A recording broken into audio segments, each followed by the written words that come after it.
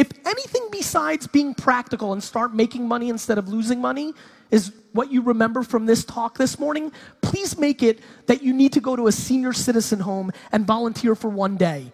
Here's what I want you to do spend one day at a senior citizen home, and I promise you, you will leave with the following. You will leave that the scariest thing in the world, the scariest thing in the world to human beings is regret. What you will see in those 80 and 90 year olds, some will be happy and they'll be content, but you will see something at scale that scares the living shit out of me. It's called regret. The amount of people that wish they did things is scary. And let me promise you something when you're 93, it's hard to pull it off.